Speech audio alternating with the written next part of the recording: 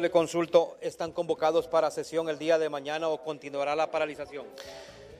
Aprovecho para exigirle a, a la Junta Directiva del Congreso a que nos convoquen, que nos convoquen a sesiones, porque no nos pueden seguir pagando y no trabajar. El Congreso tiene cosas que aprobar. Es necesario, urgente, que podamos cuanto antes, cuanto antes, volver a trabajar. Ellos no convocan porque ya vieron los números. 10 nos fuimos de libre y nos sumamos al Partido Liberal, de manera que Libre ya no es la primera fuerza política en el Congreso.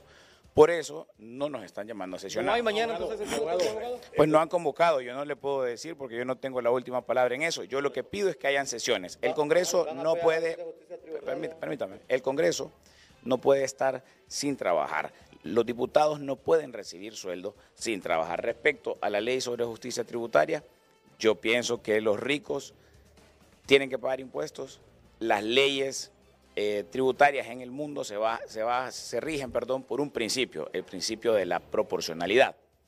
El que más gana, más paga.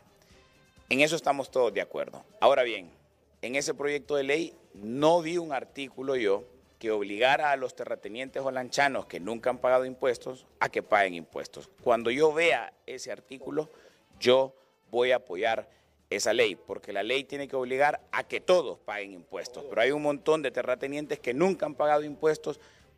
Y ahí, entonces, ¿de qué viven? Nunca habían pagado impuestos, jamás han pagado impuestos y quieren que los demás paguen. Eso no es justo. Bien, parte de las declaraciones del abogado Jorge Cálix, quien ha desmentido eh, las acusaciones que le está virtuando, virtiendo el señor Ochoa y también hablando, mañana será juramentado Francis y otros temas importantes en el Congreso Nacional. Si no tienen consulta con ustedes, estudios principales.